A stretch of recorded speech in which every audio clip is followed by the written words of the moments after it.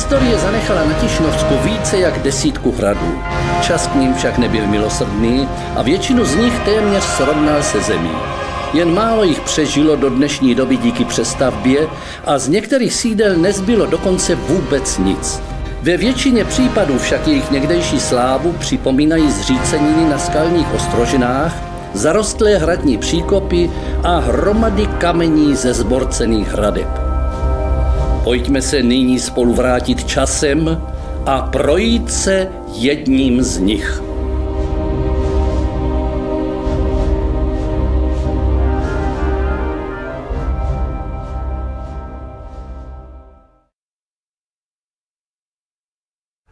Všimněte si prosím, že jsem tentokrát dbal o svůj zevnějšek, jsem hladce oholen. Je to proto, že už se nebudeme plahočit mlázím a líst po skalách tentokrát k nějaké zřícenině, ale že navštívíme opravděcký zámek. Takže musím vypadat alespoň trochu k světu. To nebývá každý den. Ale den, jdem.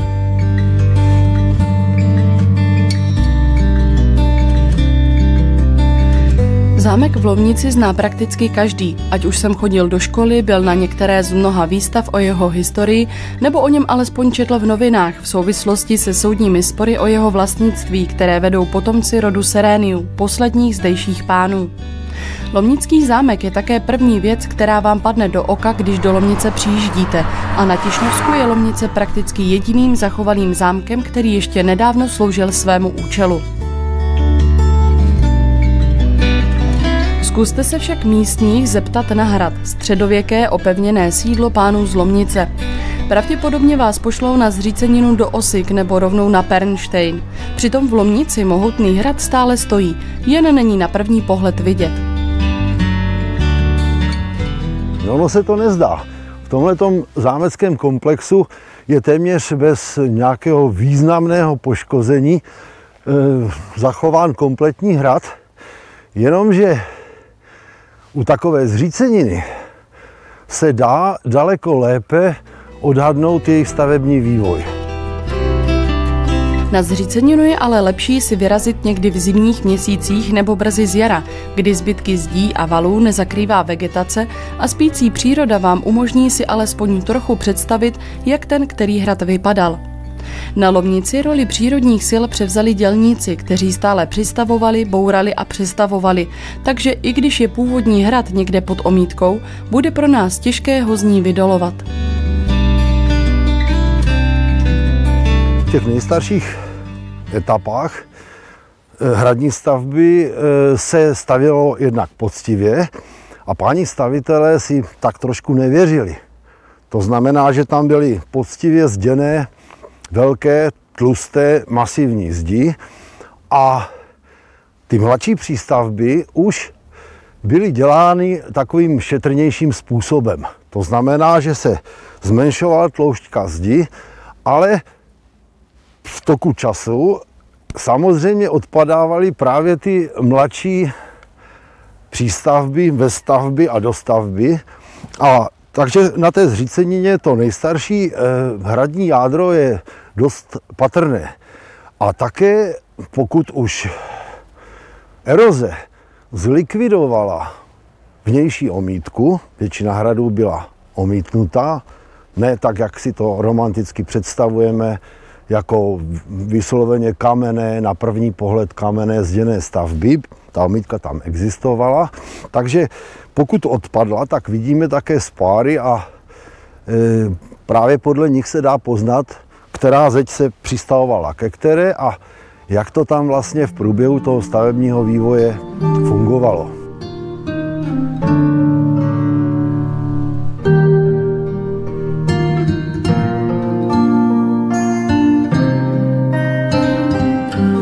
Lomnici omítka i zdi drží pohromadě, takže zámek budeme bourat jen na obrázcích, které nás vrátí zpět v čase, kdy zde na kopci obtékaném besenkem začal vznikat hrad. Slovní obrat začal vznikat jsme použili záměrně, protože o tom, kdo a kdy ho přesně postavil, existuje několik teorií. První pán píšící se po Lomnici je jistý vznata z Lomnice, zmiňovaný v listině z roku 1281, takže se dá předpokládat, že v té době zde už nějaké opevněné sídlo bylo.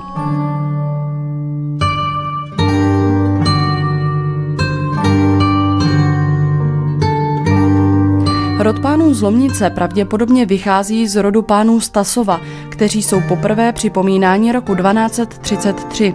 Výše zmiňovaný vznata z Lomnice bývá stotožňován se vznatou Stasova, který se objevuje na listinách Tišnovského kláštera v letech 1240 a 1258. Podle jedné z teorií se po Lomnici začal psát, až když bylo zdejší sídlo postavené.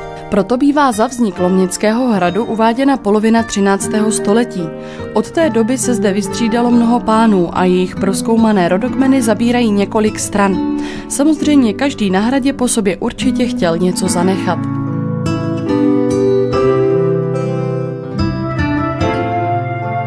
A já si to zase představuju tak, že prostě každá generace znamenala, že na zámek nebo hrad přišla nová zámecká paní a řekla, tady okno nebude, tohle se zazdí a tamhle se prorazí nové okno a místo špajzu bude koupelna a místo e, koupelny bude kuchyně a takže na každém hradě se vlastně stále budovalo a stavělo.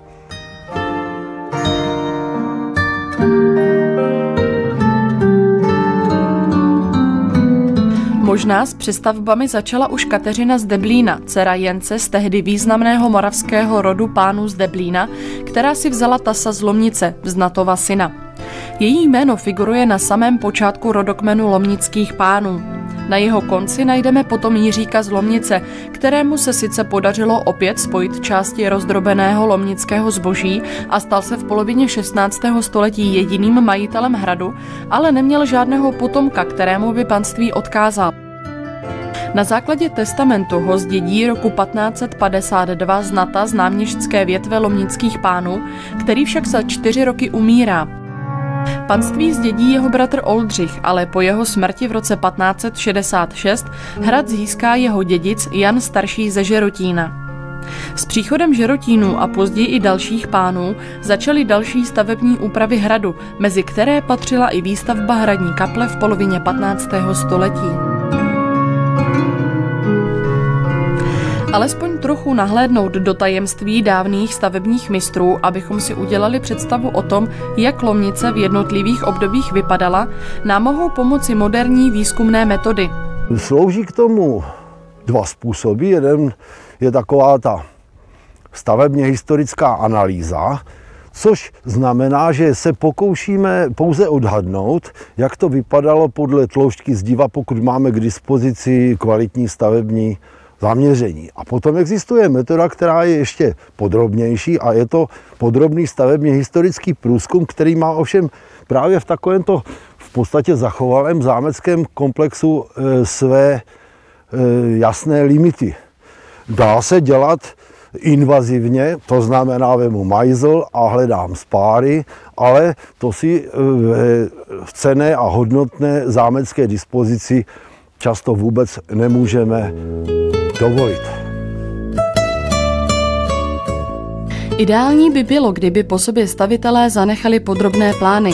Zřejmě však ale nepočítali s tím, že to někoho bude za 500 let zajímat a tak nejstarším zachovaným dokumentem, který zobrazuje lomnické sídlo, je plánek z počátku 18. století. Jeho autor, císařský důstojník Nikolaj, zde hrad už prezentuje jako zbytek barokní pevnosti s Parkánovou hradbou. Ta se dochovala dodnes. Před vstupem do hradu byla ještě taková jednoduchá kulisová brána v linii toho parkánu a vidíme na mapě nebo na plánu, vidíme ještě stopu tehdy fungujícího zachovalého barbakanu. To bylo obrané opatření, které lomilo tu přístupovou cestu, která se otáčela právě už na místě barbakanu a vstupovala do hradu. A máme tady zbytky barokního opevnění, které už se zřejmě postupně likvidovalo, které bránilo to předpolí buď formou palisády, anebo nějaké dřevo hlinité konstrukce polního typu. Celé to plato bylo srovnáno a už tam fungovala barokní zahrada, jenomže i ta zmizela a dneska vlastně na místě Barbakanu máme mladší terénní úpravy, které zcela překryly celou vstupní partii hradu.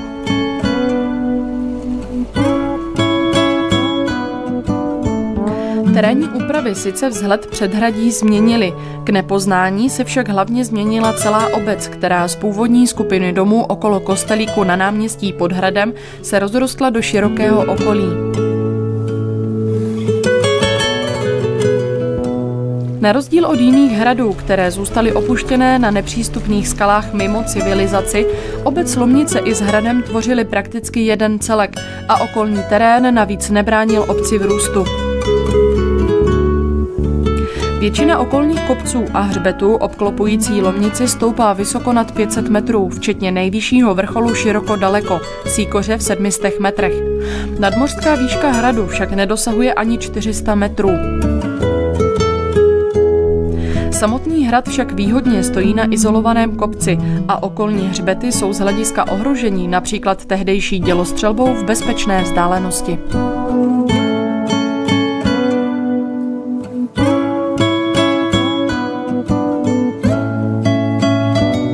Já jsem si dovolil to nakreslit, jak to pravděpodobně vypadalo.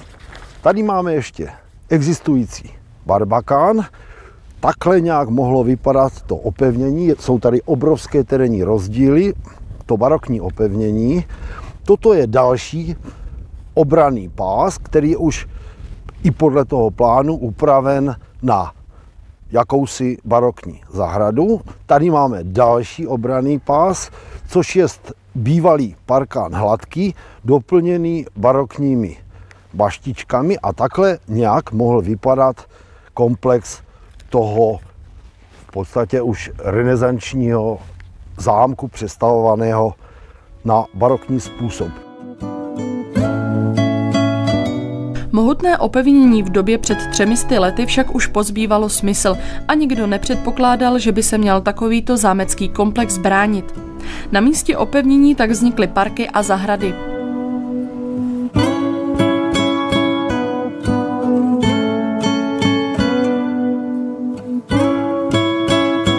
Takže zatímco Lomnice v 15. století mohla vypadat takto, o 200 let později už připomínala reprezentativní panské sídlo.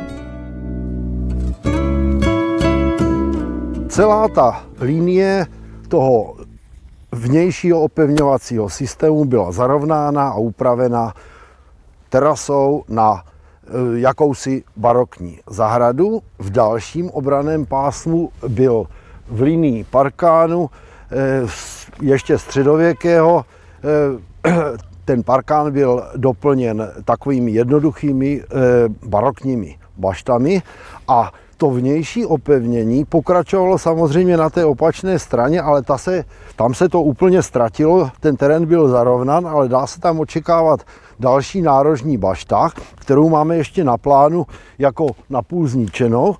A já, kdybych byl císařským důstojníkem, tak bych určitě v této poloze nechal postavit ještě e, další barokní sypanou baštu.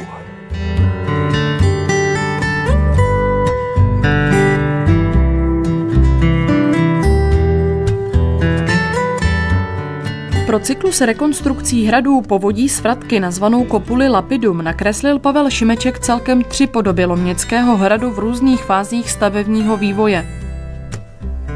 Rekonstrukce pro 13. století zobrazuje středověký hrad, který měl už v té době dvoudílnou dispozici s několika hranolovitými věžemi, včetně branské věže, kudy se chodilo dovnitř.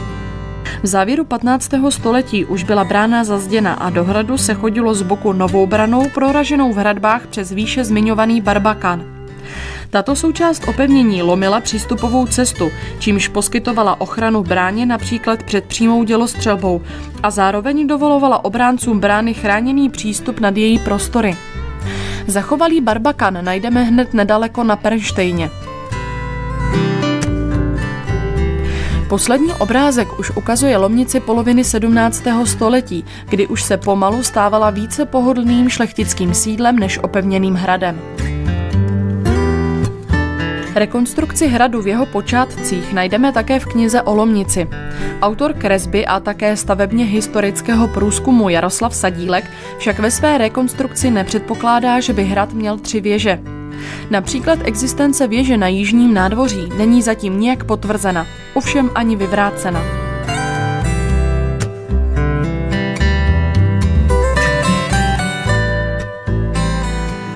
Pokud se podíváme pečlivě na tento e, plán z roku 1710, tak tam Nikolaj, hrabě Nikolaj, e, vyznačoval výškové rozdíly, to znamená, že se tam objevuje taková tenká linie, která by mohla být dokladem jakési změny výškového uspořádání.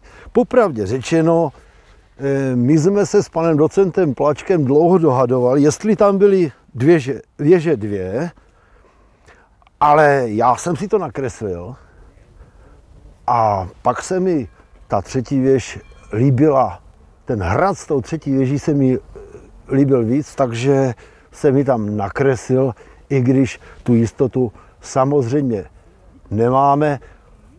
To, co tvrdím pořád, papír snese všechno. Tom, že nakreslit se dá cokoliv, viděl svoje i malíř František Richter, autor mnoha vedut a kreseb z počátku 19. století. Na jeho kresbě Lomnice z roku 1815 najdete nelogicky nakreslenou úzkou věžičku, která však vůbec nezapadá do stavební konstrukce zámku. S největší pravděpodobností si Richter tímto romantickým prvkem realitu trochu přiklášnil, podobně jako to dělal i na jiných svých kresbách.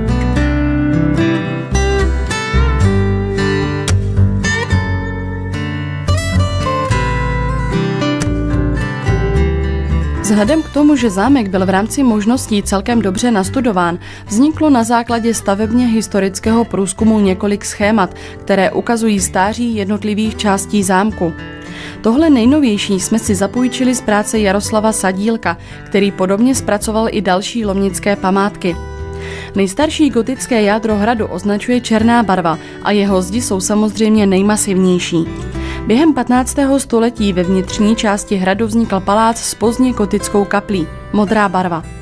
No a poslední zásadní přestavba sídla, značená červeně, připadala už do období renesance, kdy stavitelé sice ponechali původní dvojdílnou dispozici, ale původní středověké předhradí proměnili v arkádově zámecké nádvoří. Dostavěna byla i zadní východní část hradu, kterou najdete na plánku z 18. století zcela bez zástavby.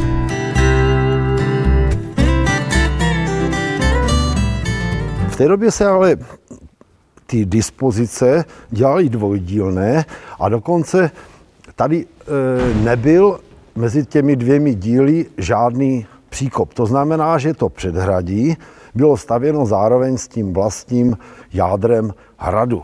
Původní brána byla tady v koutě, je to vidět z tlouštěk toho zdiva, kde s velkou pravděpodobností byla průjezdná branská věž. A tady pokračovalo už spíše hospodářské stavení, eh, kuchyně, eh, dílny, kovárna a možná stáje. A tahle ta brána, která, kterou jsme vstoupili, je až o poznání mladší. Dnes již za zděnou hradní bránu najdete nelogicky vysoko nad okolním terénem. Musíme si však uvědomit, že tehdejší hrad obklopovali prstence opevnění. Až později byl svažitý terén upraven na terasy. I tak musel být dřevěný most, který byl s největší pravděpodobností zvedací, hodně šikmý. Z Branské věže se zachovala obě podlaží, ovšem jestli byla původně takto vysoká, nevíme. Každopádně musela ostatní budovy, které byly nadstavěny až během baroka, převyšovat ještě v 16. století.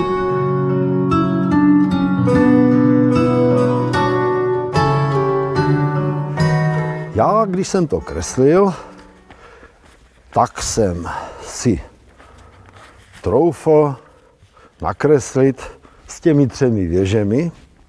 Tu třetí jsem si víceméně vymyslel, vydedukoval dvě základní fáze vývoje hradu.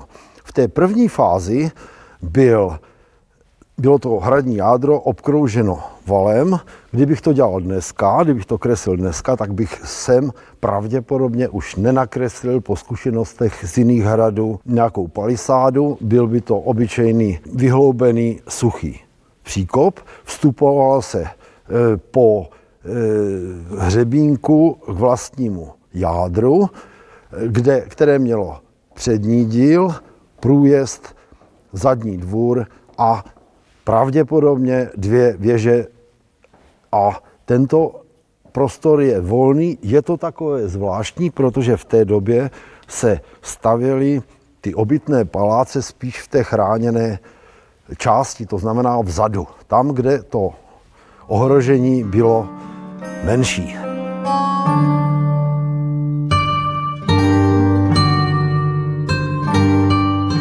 Dvoudílné rozvržení Lomnického hradu svádí k tomu, že přední vstupní část bývá nazývána předhradí a zadní část je uváděna jako jádro hradu. Přední a zadní část hradu od sebe oddělovala na počátku zeď a o něco později, jak jsme si ukazovali, zde lomničtí páni nechali postavit celé příčné hradní křídlo. Víc o této stavbě nevíme, protože skutečně provádění toho stavebně historického průzkumu není pod těmi omítkami dost možné a vždycky u těchto přestavěných zámeckých komplexů zůstává stále spousta věcí nezodpovězených a samozřejmě názory odborníků se mohou lišit a velmi často se liší do okamžiku, kdy se nezačne provádět nějaká důkladnější oprava, rekonstrukce, která umožní ten invazivní vstup do zdiva a odhalení sporných detailů, které by mohly nám skutečně říct, jak to vypadalo, ale i tak vždycky těch otázek nezodpovězených zůstane velmi mnoho.